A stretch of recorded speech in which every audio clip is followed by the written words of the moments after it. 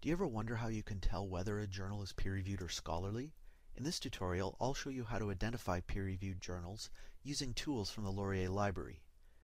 Peer-reviewed journals publish articles that have been evaluated by experts before publication. There are several methods you can use to identify these kinds of journals. One method to identify peer-reviewed journals is by limiting your search results. Many databases let you limit your results to only peer-reviewed journals by the use of a checkbox before you search. This example is from the Business Source Complete database. Note that sometimes the terms academic or scholarly are used to denote peer-reviewed journals. The ProQuest database uses a similar method. There may be times, however, when it is important to identify if a journal is peer-reviewed using different tools than those found in a database.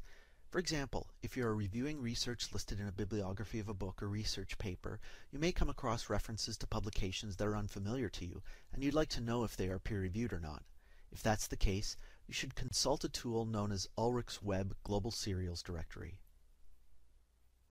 To access Ulrichs, start at the library homepage, library.wlu.ca. Click the Databases link at the left side of the page, and then click the Browse by Title link that appears in the middle. At the top of the next page in the alphabetical listing, select the U at the drop-down menu, then click Apply. Next, find the link for Ulrich's Web and click that link. This is the main page for Ulrichs, with a quick search box at the top.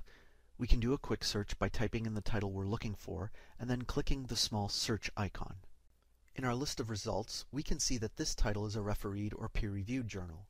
This is indicated by the small icon beside the title. Clicking on the title leads us to another page with additional information about the publication. Here we can see what type of document the publication is, when it was started, and how often it is published. If you have any questions, ask us at library.wlu.ca slash help slash ask us.